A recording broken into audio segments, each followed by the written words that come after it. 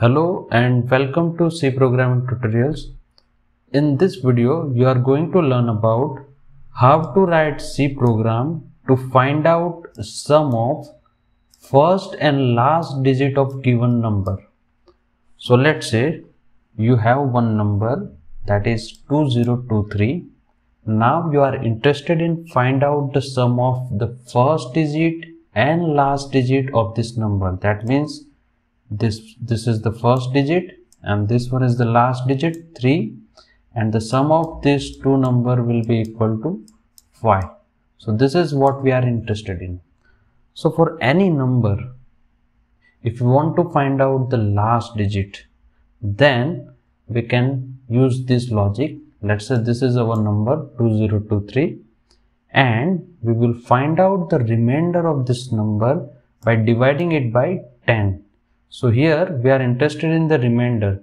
So remainder will be what? After dividing 2023 by 10, we will have the remainder as a 3.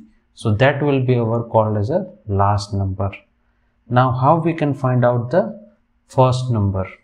So for first digit, the logic is like if we divide the number by 10, so it will be like 2, 202.3 and again if you will divide by 10 it will be 20.2 and again if you will divide by 10 it will be 2 how many times we need to divide this number by 10 unless and until it become less than 10 so this is how you can find out the first digit of a number. Now you know the logic how to find out first and last digit of the number. Then we need to write a program to write a C program for a last digit, it's a simple syntax. We need to focus on the modulo that is uh, remainder. So here the whatever number it is given modulo by 10 that will be our remainder and it will give us a last digit. Similarly for the first digit as I said that we need to divide the number by 10 and unless and until it become less than uh, 10 so for that we can write a while loop. So we will say that while this number is greater than 10, what we will do? We will divide the number by 10 and we will store this value again in the number. So in this one what will happen that if we have a 2 not 2 3 divided by 10 it will be 202.3 so it will be stored in this number and again it will be like divide by 10 so it will become 20.2 and so on so this while loop will run unless and until this number will become less than 10 and then it will give a number as a first digit of the particular number. Okay, next we are going to write a program for this logic. So let's consider a integer number and first we want number and we can initialize it to 0 then we also need a variable for the first digit then for the last digit.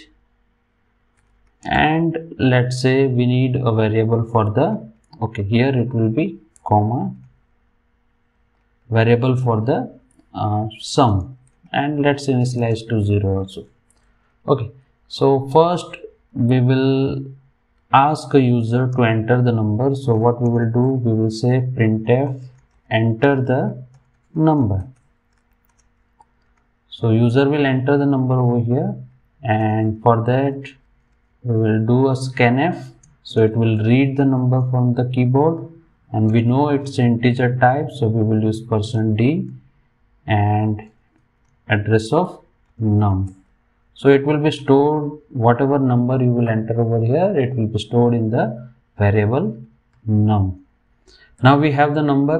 Now what is our logic to first to get the last digit what we will say? Last equal to num modulo 10 so this will provide a remainder and remainder will be stored into last.